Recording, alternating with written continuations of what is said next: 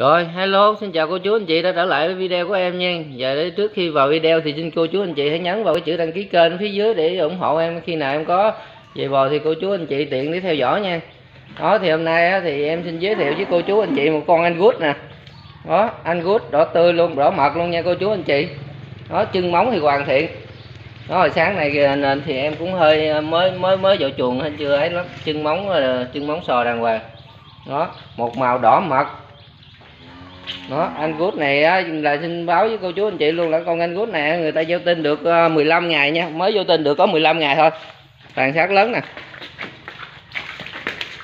Đó. Đó thì xin uh, cô chú anh chị nè sai sai tích nghiêm chỉnh đàng hoàng nha cô chú anh chị. Đó. Thì báo giá với cô chú anh chị con này luôn thì con này là 26 triệu 500 nha. Cô chú anh chị nào ưng thì điện thoại trực tiếp với em nha đó giờ đây còn con cái kem. Đó con cái kem này thì vô tin được một tháng mấy bữa nè. Đó thì xương sóc lớn nha. Đó thì bây giờ em báo sơ lược thôi chứ ờ, báo uh, nhanh thì báo uh, nhanh thôi chứ còn uh, em cũng uh, cái cái thời lượng cái điện thoại của em nó cũng không cho phép em ấy dài được.